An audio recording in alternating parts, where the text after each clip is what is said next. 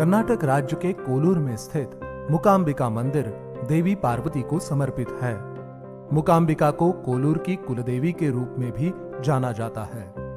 पौराणिक मान्यताओं के अनुसार उस स्थान पर कौमासुर नामक एक राक्षस का निवास था, जिसके अत्याचार से साधुजन त्राही त्राही कांपते थे।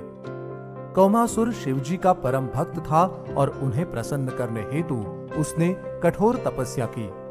जब उसकी तपस्या से प्रसन्न होकर शिवजी उसके सामने प्रकट होने वाले थे, देवी पार्वती ने उन्हें रोक लिया मनचाहा वर प्राप्त करने के बाद कौमासुर का अत्याचार और तीव्र हो जाएगा, इसकी आशंका करते हुए महादेवी ने शिवजी को उसे वर प्रदान करने से रोकना चाहा।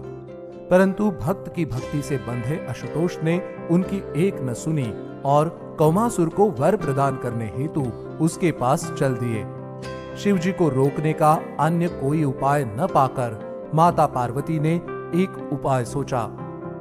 उन्होंने वाणी की देवी माता सरस्वती का आवाहन किया और उन्हें कौमासुर से उसके बोलने की शक्ति का हरण कर लेने हेतु अनुग्रह किया।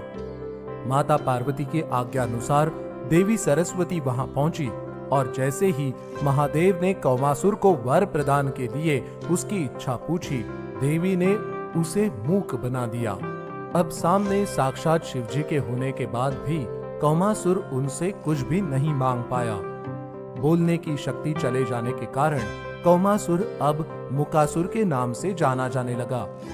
जब उसे इस बात का ज्ञान हुआ कि माता पार्वती के कारण ही उसकी ये दशा हुई है, उसने माता पार्वती को युद्ध के लिए ललकारा। देवी ने इसी स्थान पर राक्षस का वध कर उसे यमलोक पहुँचा दिया। मुकासुर का वध करने के उपरांत माता पार्वती का दूसरा नाम मुकाम्बिका पड़ा।